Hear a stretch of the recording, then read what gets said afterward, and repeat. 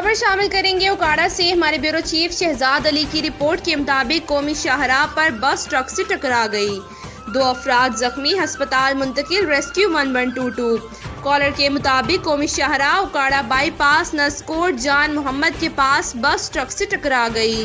Rescue जराए हादसा, बस का टायर ब्रस्ट होने के बायस पेश आया। रेस्क्यू जराए हादसे के नतीजे में बस में सवार दो अफराद शदीद जख्मी हो गए। इतला मिलने पर rescue one one two two की दो एम्बुलेंसेज फौरी तौर पर जाए हादसा पर पहुँच गईं। रेस्क्यू टीमों ने इब्तदाई तबी इमदाद फराहम करते हुए जख्मियों को डी एच क्यू सिटी अस्पताल मुंतकिल कर दिया। रेस्क्यू जराए